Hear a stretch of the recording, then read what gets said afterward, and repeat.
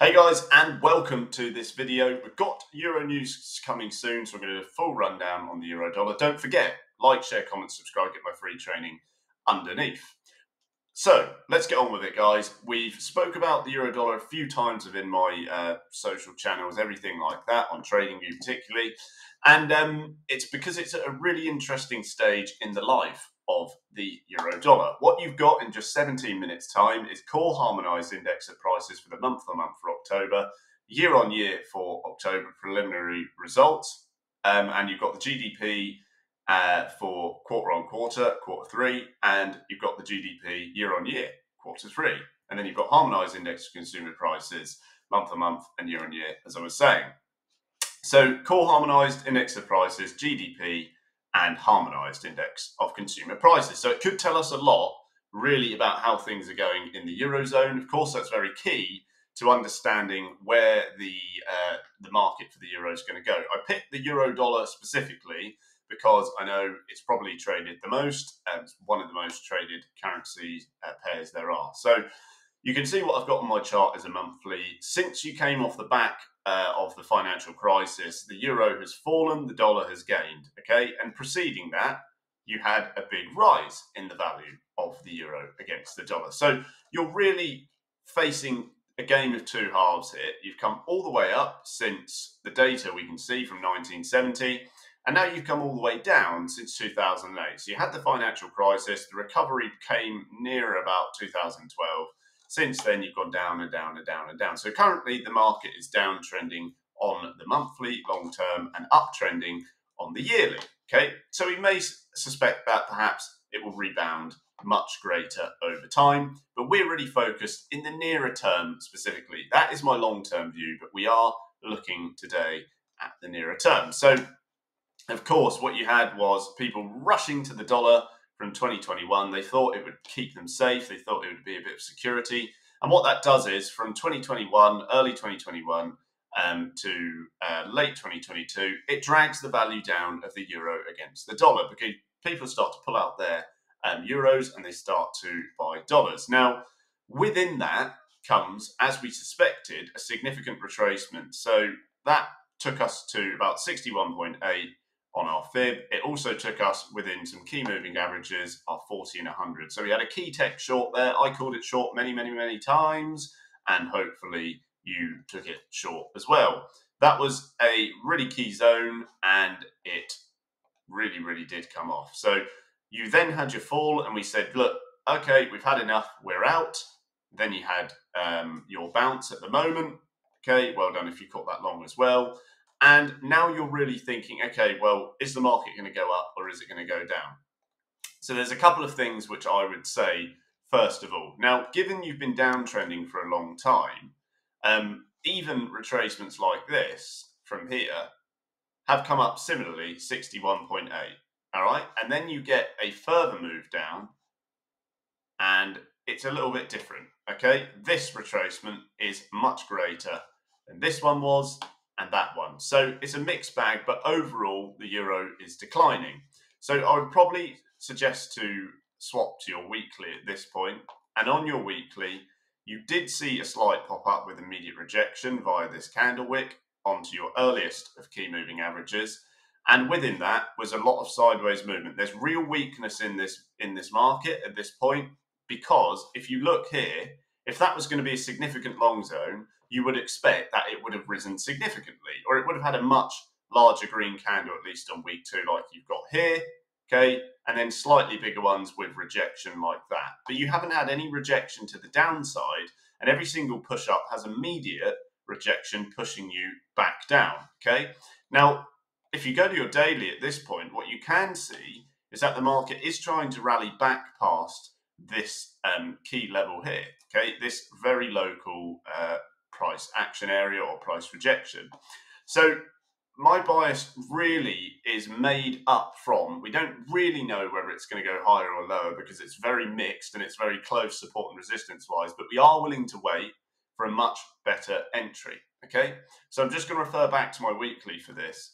Um, I wouldn't be shocked really if this does push slightly higher than where you are at the moment, and I would really look to refer to key levels of price action if you're going to reshort it. For me, I wouldn't reshort it at the moment. I don't think you've got enough weight in that um, price rejection there. Okay, and if you look at this green candle, it's very full body, bodied. It's pushing straight back into that area. Okay, so I'm referring to this this price rejection you just had.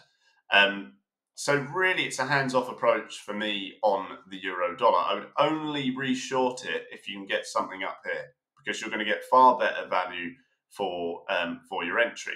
That comes at 108. It comes much nearer your other key moving averages. Now, having said that, if it does turn out that the market does come down, I really wouldn't be shocked either. Okay, that's why I said it's a very much a mixed bag.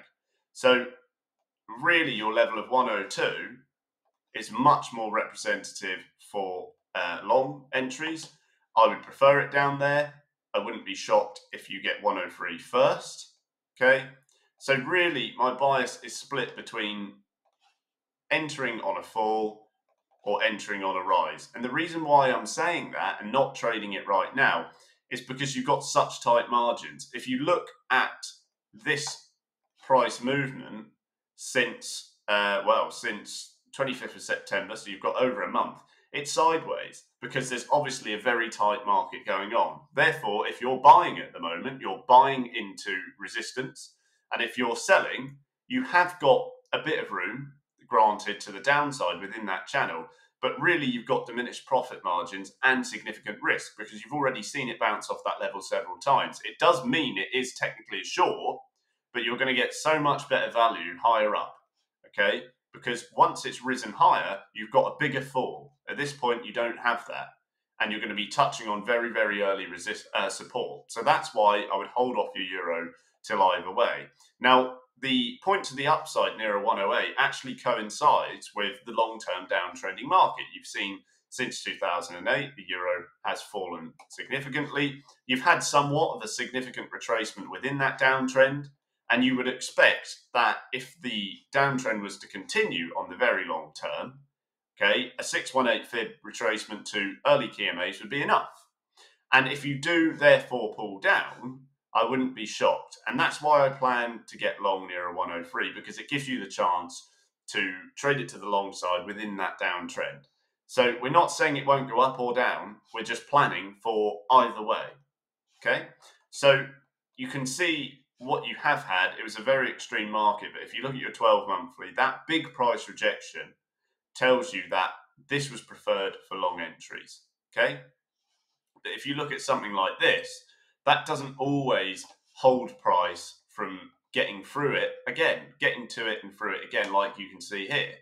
Because that's exactly what happens. These big red candles just diminish the value of that uh, candle wick that was there and the rejection. Okay.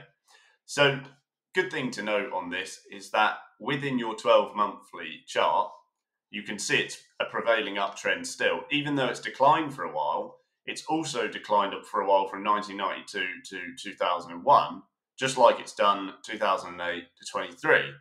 Only in this instance, it's a little bit further of 15 years, and this one, it is only um, nine, okay, nine or 10 years. So it may be the case that you do continue up. At the current point, I wouldn't be shocked if in the near term you do rise higher than this level because, like I said, I don't give it a lot of weight. Okay, I don't think it shows you much. I don't think it's very strong. Um, and I would much, much be less surprised if it does turn out that this really heavy upside candle you can see here becomes the one that um, pushes through. Because every time you have gone slightly higher from this point, 11th of October, then you've got the 23rd of October, just 12 days later, which pushes you a bit higher than this high. And you can see every time there's a big green candle that just smashes through this because it's a weak level of resistance. Okay. So what's happening is the market is slowly stumbling up. It's breaking through local resistance. Every area of local resistance is weak. Um, and it just takes time. It plods along, but you can clearly see all the way up here is your key moving averages of your um, 100 and your 200, which is why it's such a good zone to short, okay? Because it, that makes it a very key tech zone. If you're coming back to those key high moving averages, you'd probably rather be short within the downtrend, and you can see that on your daily, okay, like this. You haven't had a significant retracement from July, and this could be it. Wouldn't be surprised if it is. That's my short bias 108, looking long near a 103 if you break under this low. Okay, like I said, I don't hold too much weight in this or that. So I'm planning ahead. Thanks for watching, guys. Hope that helps as always. Don't forget to get my free training underneath. And of course, as always, stay tuned for more and trade safe. See you in the next one.